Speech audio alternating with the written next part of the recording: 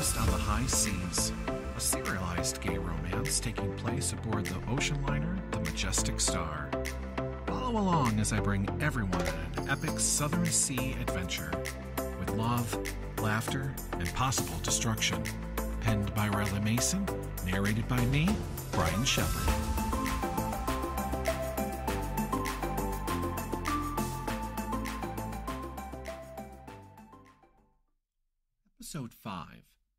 Worried or Not to Be Worried.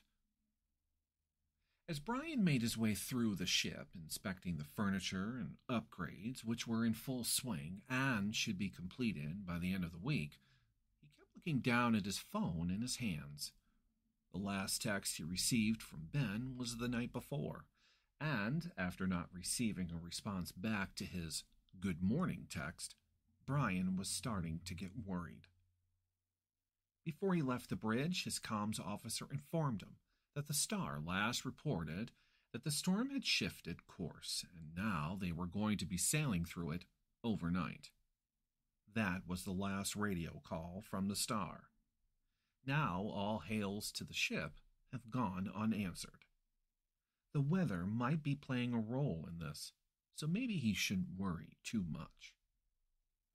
The bridge was his last stop before he headed back to his cabin to shower and change now that he was informed that the CEO of Majestic Cruises was paying the Sun a visit, along with other board members. This was not uncommon, as the ship was recently acquired, was in the middle of a transformation, so it'd only be fitting for the board and CEO to inspect the ship before it starts its new tour. Where that is, still has yet to be announced or even been talked about which has Brian disliking the CEO even more. Johnny blew his first impression with Brian during the final signing when it came down to the ships. Johnny had made a nasty comment in the meeting room with his lawyer. Those who know Brian know that if you blow your first impression, you're done. Oh, yeah, that's right, Bob. Another gay captain. Let's see how long it takes before this one is shacking up with a passenger. Seems to be a recurring theme, Johnny. Although, if memory serves me right, weren't you dating? Well, an exciting day indeed. More ships to be adding to our ever expanding fleet. Johnny cut in, out loud as Brian sat down at the table across from Johnny. It was too late as Brian and his lawyer had heard the comment. So, right there determined to Brian, he's a douchebag. Joey was right. Getting the past out of his head, Brian finished up and was heading out of his cabin as he was to meet them in the lobby at around noon. He had about ten minutes. Brian wasn't sure what they were expecting, as most of the crew were on shore leave while the ship went through its transformation. Yet the ship was well on its way to being completed, so that has to account for something. The sun was to be the envy of European travel. Guests would be able to enjoy a slew of new amenities on board, while keeping the luxury feel and atmosphere and the exquisite service the crew provides. This, of course, would not only benefit Majestic, Yet Johnny would see this as a financial waste. The board came up with a figure that would be sufficient enough to cover the purchases needed for each project. Sadly, the sum of $1.2 million had Johnny seeing red. He was quick to shoot this proposal down, citing that there was no evidence showing loss of revenue due to outdated deck chairs. Why waste money fixing something that is not broken? Unfortunately for Johnny, he was outvoted, and the proposal was approved, which now has Brian questioning what Johnny will have to say. The good thing about this visit is that board member Fiona Shackelton was joining him. Fiona is not a fan of Johnny and is not afraid to oppose him. This should be interesting for sure. Once Brian made it to the lobby, Johnny and Fiona had already made it on board. The visit should not take long, as they were here just to see the improvements and how they were coming along, and to be able to get a glance of the ship for the first time since its purchase.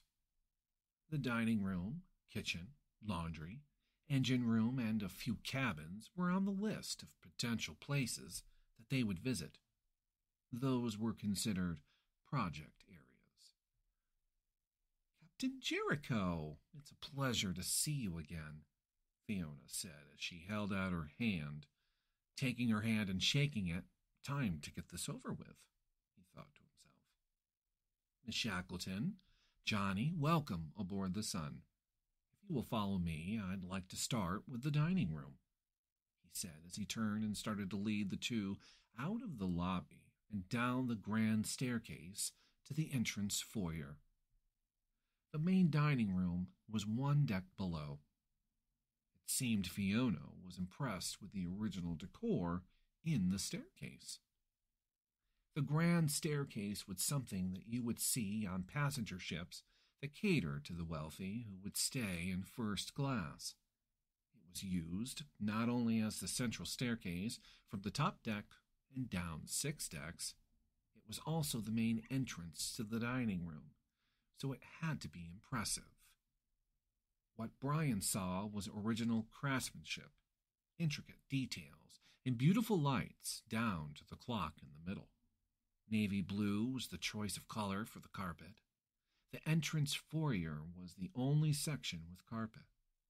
Benches, chairs, along with tables with painted vases filled with an array of flowers.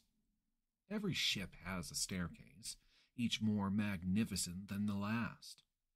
To Brian, it's the history, the stories, and appreciation for the pride the builders must have had when the ship was completed.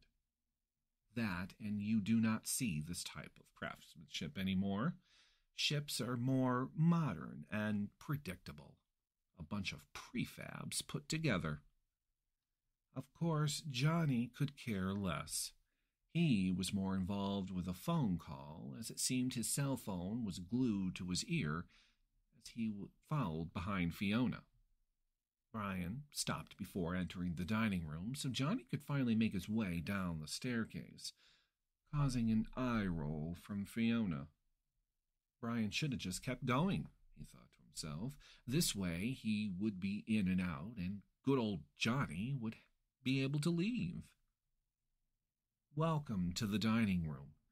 You will notice that all the old furniture has been removed and has re- been replaced with a more modern, updated style that still coincides with the original design of the room. The carpet, which I am pleased to see go, has been replaced with hardwood floors. Brian pointed everything out as Fiona looked around and inspected the tables and chairs then walked into the kitchen, which housed a slew of new appliances and cookware. Johnny just stood in the entrance, still on the phone. By his facial expressions, he didn't seem to be too happy, more like angry turned worried. I must say, the new designers did a fantastic job matching the new floor with the original woodwork in here. I am assuming it is this way in the cabins and suites as well? she asked as her and Brian walked back towards the foyer. Would you like to see one of the suites? As I'm sure they're completed. And yes, the bid that was accepted not only redesigned the rooms, they also did their own work and installed everything. The company uses wood that came from a family owned sawmill in Norfolk, Connecticut the builders here at the port were not necessary and could have been used for the star had they not been forced out to sea. I have yet to hear anything from Joey or Ben. Trailing off, now that they were standing close enough to Johnny, who was walking in circles, asking someone if this was current and updated information or old and a waste of his time. Must have been a very short answer, as Johnny simply hung up and slipped the phone in his pocket. Everything all right, sir? Oh, nothing serious. Seems the star's lost. Joey has not checked in, and all attempts to raise her seem to go unanswered. I have a feeling the weather is playing a factor in this. Last I knew, they were going into some bad weather. I, too, have not heard anything, which has me worried. Are they going to send out a rescue ship in case? What? A rescue ship? For what reason? What, to waste company money and resources over nothing? No, I'm not going to do that. I'm sure the ship is just fine. Now, I seem to have seen enough, so if you would excuse me, I have a pressing matter to attend to. I am very pleased with the work I have seen. Johnny then walked back up the stairs, grabbing for his cell phone to call God knows who. Brian and Fiona just stared at each other. This was madness. How can someone not be concerned for a ship that was considered lost, and even go as far as deny a rescue just in case?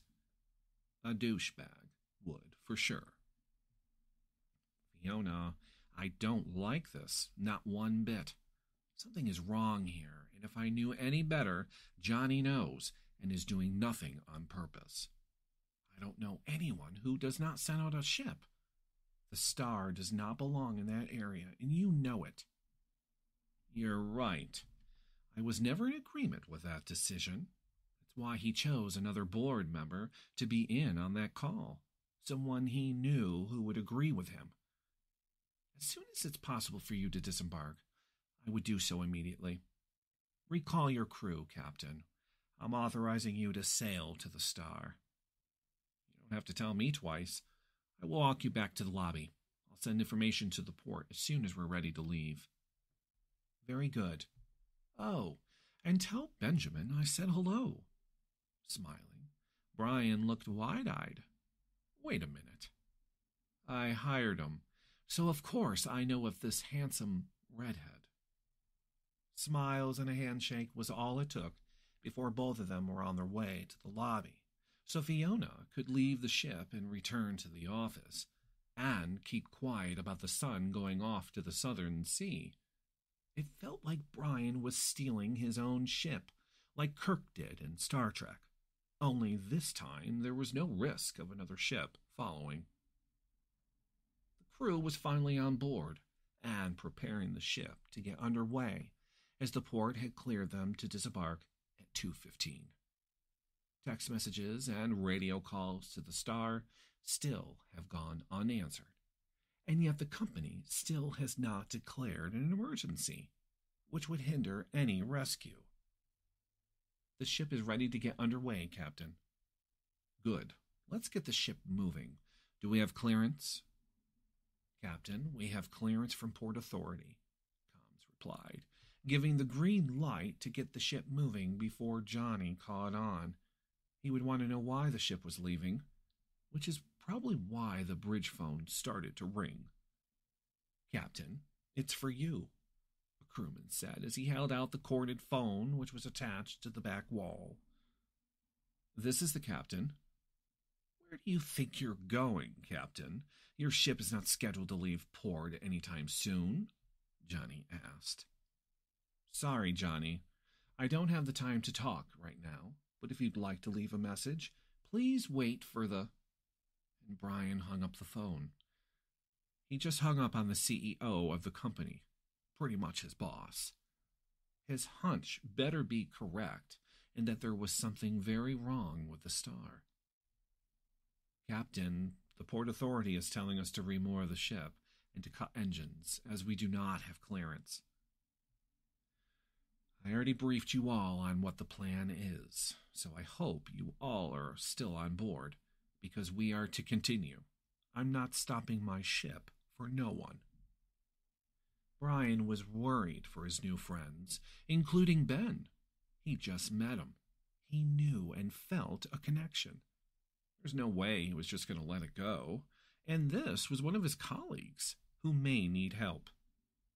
This would be easy for the sun, as it was designed to venture into this part of the world.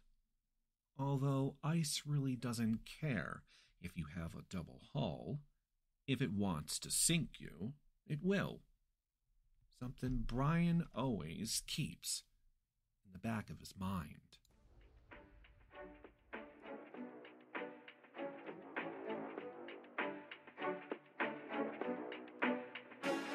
Everyone, Rylan here.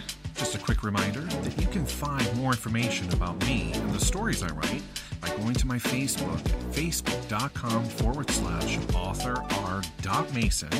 From there, you can find updates, follow me on Instagram, talk to me, and more.